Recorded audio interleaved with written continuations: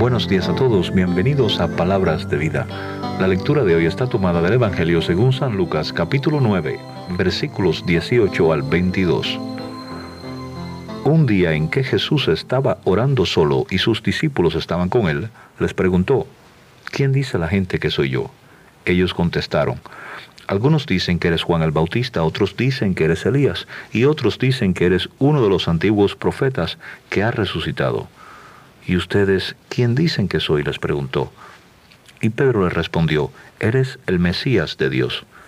Pero Jesús les encargó mucho que no dijeran esto a nadie, y les dijo, el Hijo del Hombre tendrá que sufrir mucho y será rechazado por los ancianos, por los jefes de los sacerdotes y por los maestros de la ley.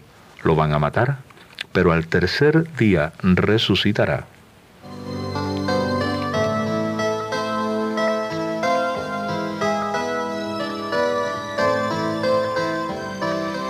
Este pasaje de hoy me ha dejado un poquito consternado, ya que no comprendo el primer versículo.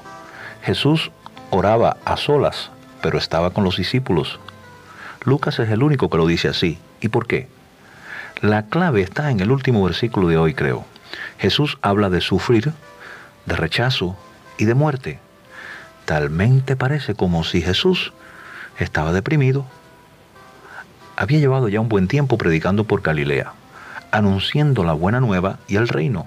Y en este pasaje que Lucas presenta después que Jesús da de comer a los cinco mil, Él está con los discípulos, pero se siente solo, como presagiando el comienzo de la pasión donde ellos mismos lo abandonaron se vira a ellos y les hace una pregunta que parece decir, la gente no me comprende, no me entienden.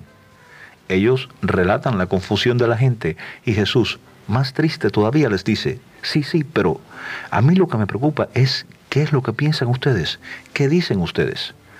Y Pedro contesta, el mismo Pedro que con toda su buena intención a veces metía la pata, el mismo Pedro que un día lo negaría. Y Jesús parece que lo sabía porque entonces le dijo, miren, esto es mucho para la gente entender todavía, así que no se lo digan. Y acto seguido les habla del sufrimiento, el rechazo y la muerte. Y si hubiese alguien parado delante de mí en estos momentos, yo le preguntaría, que levante la mano el que no sepa lo que es el sufrimiento, el rechazo o la muerte.